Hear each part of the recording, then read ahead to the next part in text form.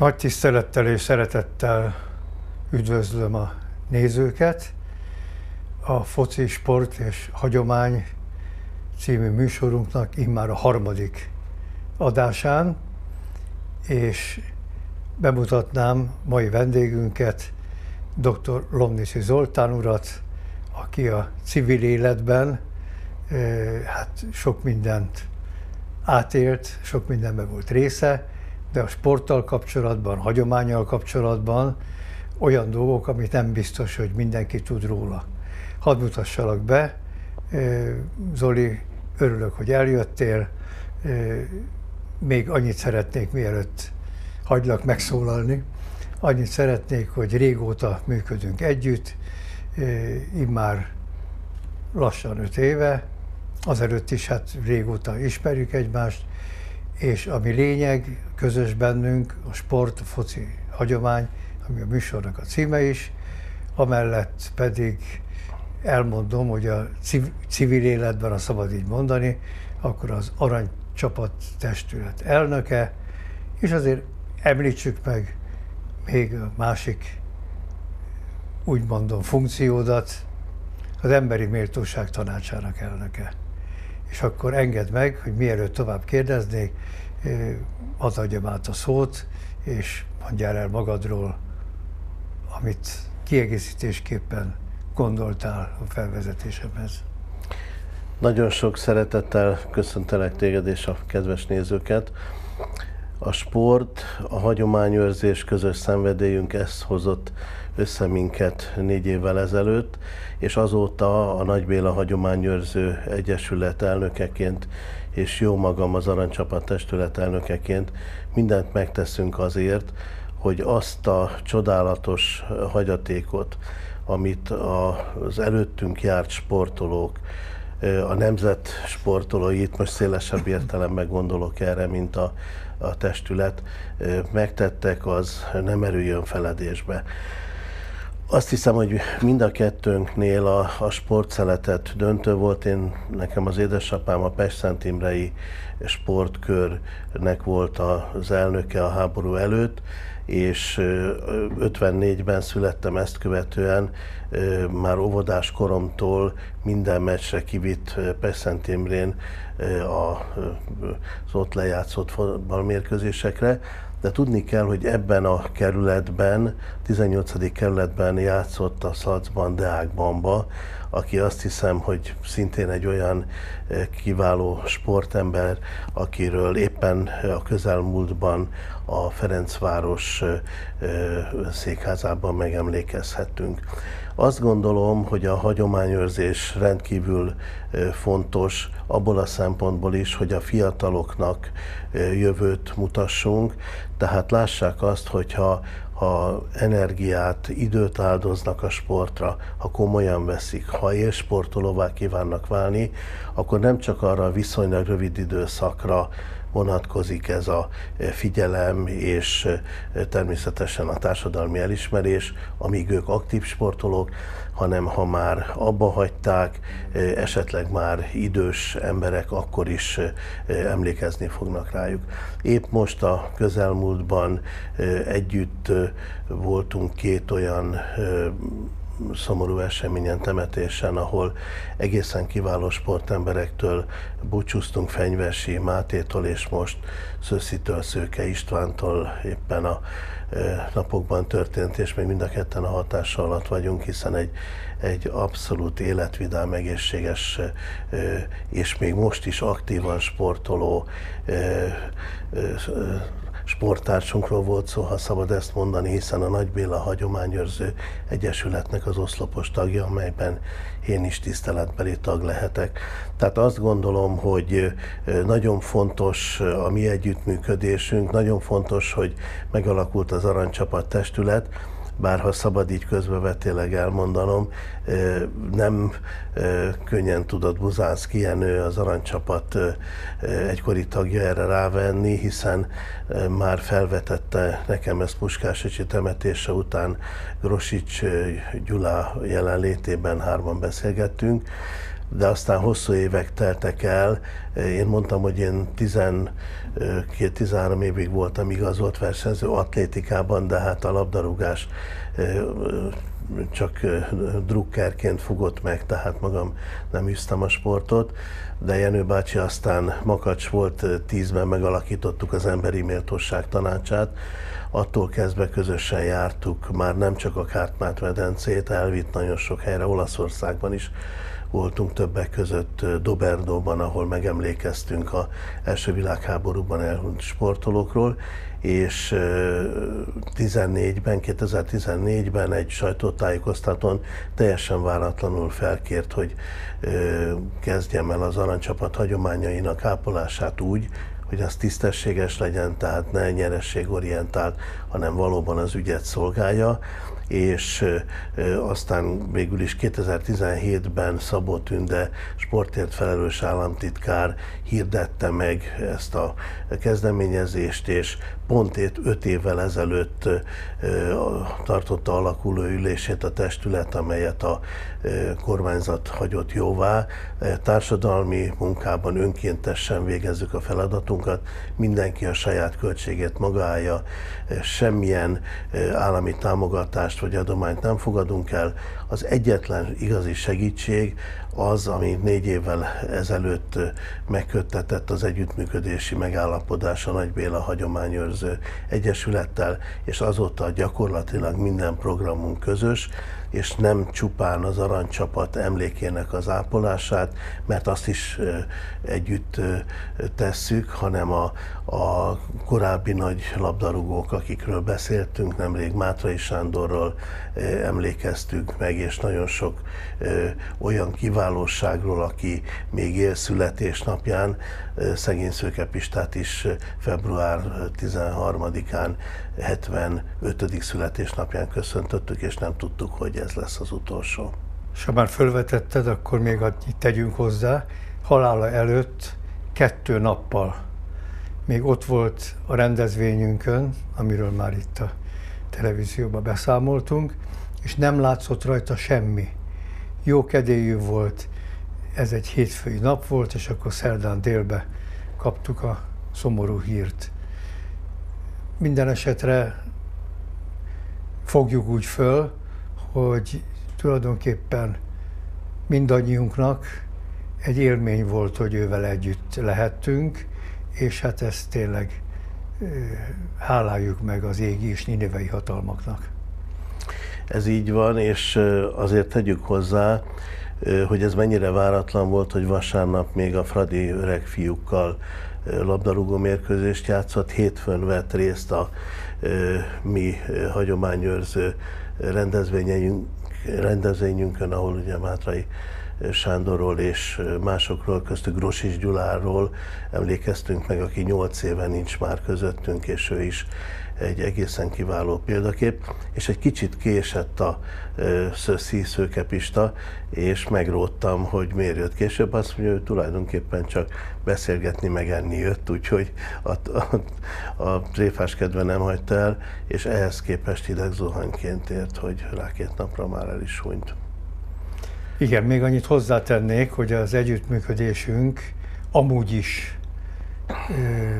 megvolt, de hivatalossá azt tette, hogy partnert kerestél, mint Aranycsapat testület elnöke, és akkor Kubatov Gábor, a Ferencváros elnöke javasolta, hogy mivel a Fradi mellett is működik egy hagyományőző egyesület, Nagy Béláról, a legendás krónikásról elnevezve, ő javasolta, hogy működjünk együtt, és akkor csináltunk egy programtervet, a programtervnek megfelelően mindenről figyelmeztetjük egymást, kinek mi jut eszébe, hasonló, mint Nagy Béla, hogy egy perc alatt, ha ránézett a, nem a naptárjára, az órájára ránézett, akkor már tudta, hogy most minek van kerekszámú évfordulója, mire kell kocintani. Ezt most nem bóknak szánom, de Nagy Béla egyébként pótolhatatlan személyiségét, egyéniségét és munkáját de méltó módon tudtad folytatni, és én nekem ezért nagyon sokat jelentett ebben a hagyományőrző munkában, amelyre Buzánszki Jenő, Gros és Gyula halála után már visszautasíthatatlanul felkért, hiszen erre nem lehetett nemet mondani, és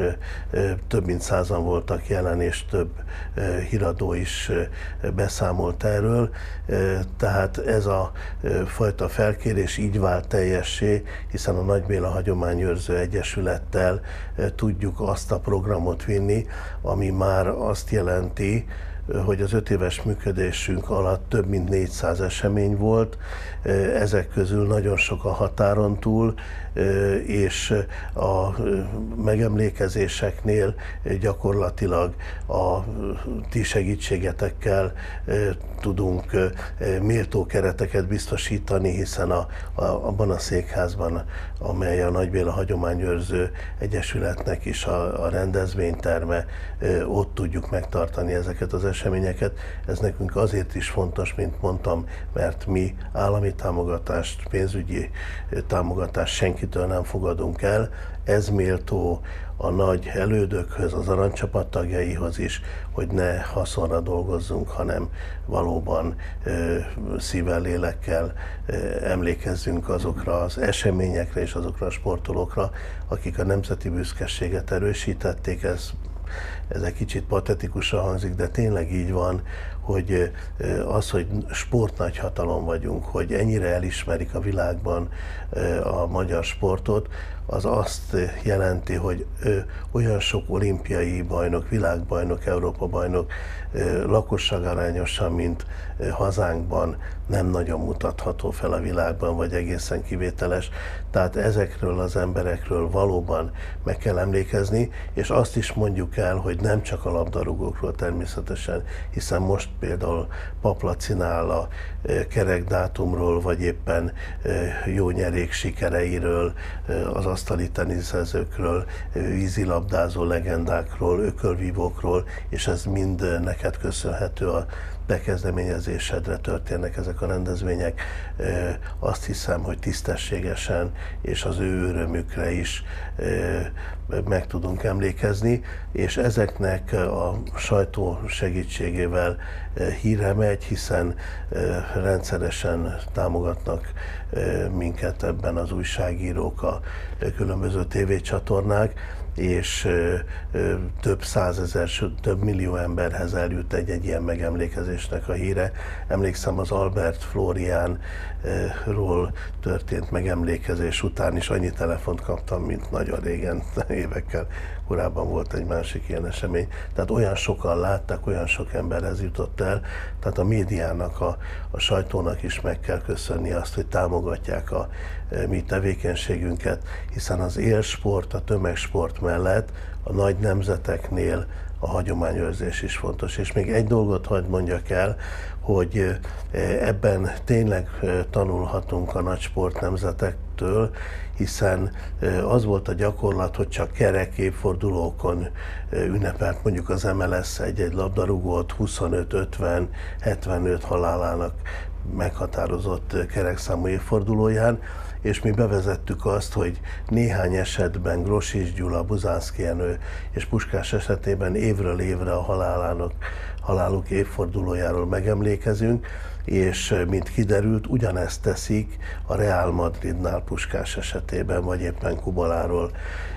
ugye Barcelonánál, tehát ez nem egyedülálló, hogy úgy tekintik, mint ha fontos lenne az, hogy minden évben akár a születésnapot vagy a halál évfordulót is megünnepeljük, megemlékezzünk róla. Úgyhogy ez, ez is az igazsághoz tartozik. Most Debrecenben volt a Buzánszki kupa, és elmeséltem azt a közös utunkat, amelyet már említettem, hogy elmentünk Doberdóba, ahol Buzánszki Jenő bácsinak az édesapja is részt vett a harcokban az első világháborúban,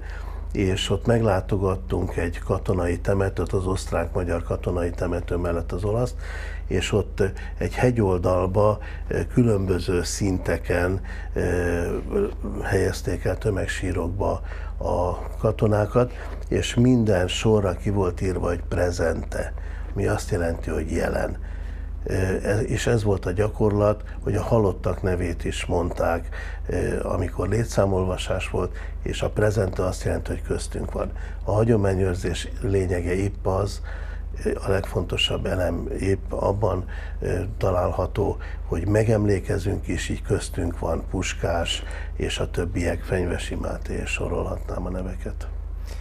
És hát tulajdonképpen ugye az aranycsapat volt a kiinduló pont.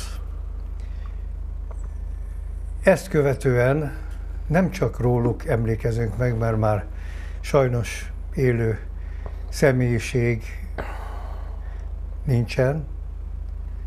abból a csapatból. Mondhatnánk, hogy olimpiákat is meséltél az előbb. Nem mese volt, hanem valóság. Például a Helsinki olimpiának 1952, annak a 70. évfordulója, és mondtad a magyar sikereket, hát akkor azt lehet mondani, hogy az fölülmúlhatatlan, mert 16 aranyérmet szereztünk, és ezáltal a nemzetek listáján harmadik lett az a Magyarország, ahol a lakosok száma meg sem közelítette az első kettőt, ami Szovjetunió, Egyesült Államok, Szovjetunió, és mi voltunk a harmadikok. Hát azt hiszem, hogy ez felülmúlhatatlan, és aztán az aranycsapatnak majd te hogy még mi volt a, a névadója, mitől lett aranycsapat, de hát minden esetre ott aranyérmet szereztek, és az aranycsapat és örökösei megjelent több ilyen kiadvány, és mi nem feledkezünk meg azokról az örökösökről, akik szintén fantasztikus eredményeket értek el, és végül is lehetséges, hogyha az a bizonyos aranycsapat nincsen, akkor ők sincsenek, és remélem, hogy ezek az örökösök is tovább tudják adni majd a fiataloknak. Lehet, hogy lesz belőle részünk. Minden esetre mi már az aranycsapat játékosairól úgy emlékezünk meg, hogy már egy szint választ el bennünket, ők már nem minden nézik a dolgokat, nem itt látják, de az örökösöknél még személyes születésnapot is tudunk tartani. Nagyon érdekes, hiszen a, az utolsó találkozásunkkor Szőke Istvánnal a megemlékezésen szóba hoztat, hogy 70 évvel ezelőtt azon a napon, tehát azon a hétfői napon volt az első mérkőzés a Helsinki olimpián, és aztán jól tudjuk, hogy augusztus másodikán volt a döntő, ahol az aranyérmet megszereztük, és ez tulajdonképpen így megint csak a, az elhunyt barátunkkal összefügg, hiszen ezen az eseményen ő is jelen volt, tehát erről is megemlékezhetünk. De azért nagyon fontos elmondani az aranycsapattal kapcsolatban, hogy az együttműködésünknek köszönhetően nem csak a klasszikus összeállítás, tehát a 11 név, amit szerte a világon a legalábbis a mi korosztályunk el tud sorolni, volt a megemlékezés fókuszában, hanem megpróbáltuk azokat is, így került be Fenyvesi Máté, aki miért hat alkalommal játszott az aranycsapat tagjaival tétmérkőzésen, összességében több, azt hiszem 8 vagy 10 mérkőzésen, de 6 tétmérkőzésen ez egészen bizonyos, és így került sor arra, hogy amit kevesen tudnak, hogy az évszázad mérkőzésén Gelin Sándor néhány perce beállt, hiszen fontosnak tartotta Grossis Gyula, csak kapust lehetett cserélni, hogy ő is legyen ott és most a közelmúltban elmentünk ezt helyre, ahol egy urna sírhely emlékezik Gelén Sándorra az urna temetőben, és koszorúztunk, és fontosnak tartottuk felhívni a figyelmet arra, hogy az évszázad mérkőzésen nem csak az a 11 játékos, hanem is, akit ismerünk, hanem ő, akit kevésbé ismerhetünk, szerepet kapott, és igaz, hogy csak néhány percig, de védte a kaput egy nagyon jelentős mérkőzéset. És még azt is szeretném itt szóba hozni, hogy amit említette, hogy az aranycsapat elnevezés minden bizonyal az EK döntő után hangzott el ez a kifejezés, hogy aranycsapat először, hiszen Szepesi György, akit a, a az egyik csapattagnak tekintenek sokan, de hát természetesen ő sportriporter, a győzelem után mondta, hogy ez egy aranycsapat, és sokan úgy gondolják, hogy a Helsinki olimpiához kapcsolódik, nem, ez a, az EK, ugye ez egy sorozat volt, aminek a, a végén sikerült győzedelmeskednünk. Rómában volt ez a mérkőzés, de ez is nagyon fontos, és amit még őszintén el kell mondani, hogy az olimpiai arany nagyon fényesen csillog, de a Berni döntő, ahol csak másodikok lettünk a világbajnokság, ugye 38 után ismét döntött játszhattunk, talán még fontosabb, hiszen az olimpiára a ö, nagy sportban nemzetek nem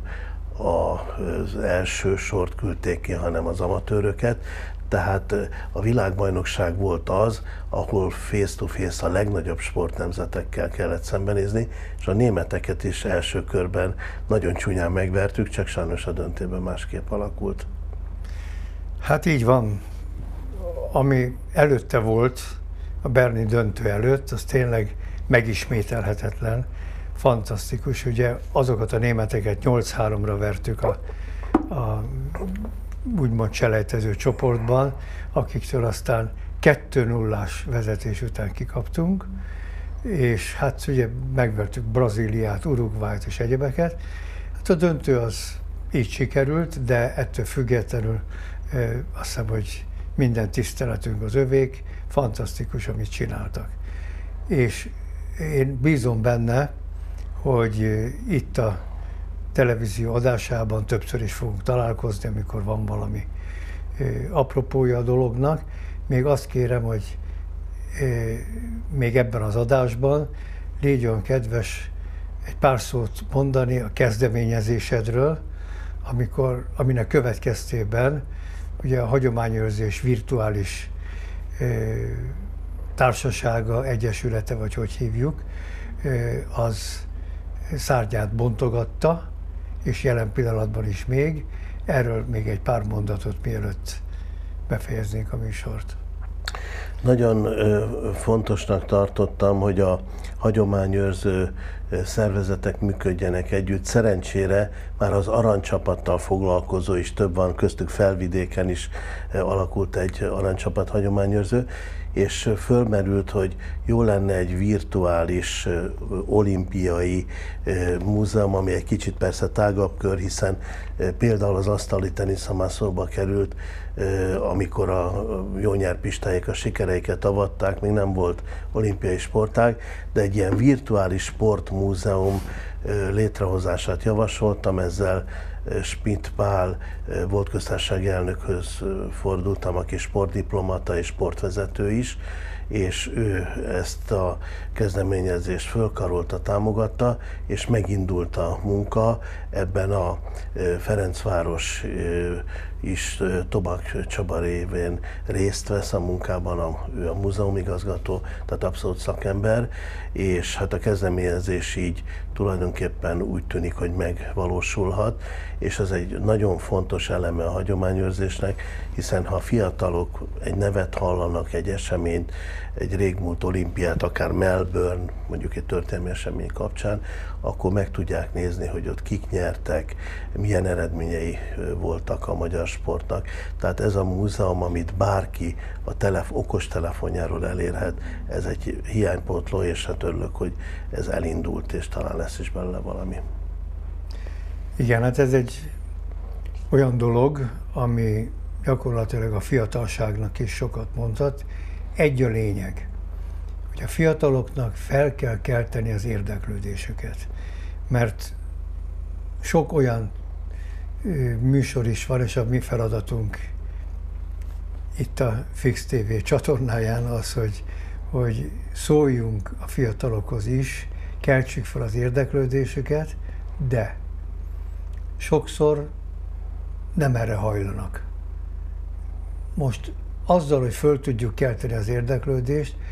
azzal ö, csak ugye azt tudjuk elérni, hogy nagyon sok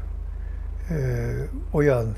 momentumot tudunk felsorolni, ami tényleg érdeklődésre tart számot. Ez a mi feladatunk, és ezzel a feladattal ö, kell, nem mondom, hogy megbirkózni, mert nem birkozni akarunk, hanem mindegyikünkből ugye saját ö, indítatásunkra ennek meg kell történnie, másokra való tekintettel, és hát én úgy gondolom, hogy ennél fantasztikusabb dolgot legalábbis a lelkünk mélyén nem tudunk tapasztalni. Úgyhogy ha van még valami zárszavat hozzá, akkor még én azt gondolom, hozzá. hogy azt megígérhetjük, ami erőnkből telik, megtesszük, és megpróbáljuk felmutatni azokat a sportsikereket, amire minden magyar büszke lehet. Rendben, és remélem, hogy nem sokára ismét találkozhatunk itt a kamerák előtt és a nézők előtt, mert események évfordulói mindig vannak, és ezeket ugye szeretnénk megosztani azokkal, akik erre érdeklődést mutattak. Nekünk meg az a dolgunk, hogy felkeltsük az érdeklődést. Dr. Lormészi Zoltán úrnak nagyon szépen köszönöm, hogy elfogadta a meghívásunkat, itt voltál, és a nézőknek is további szép napot, időszakot kívánunk. És hát ezzel zárjuk műsorunkat. Köszönöm szépen.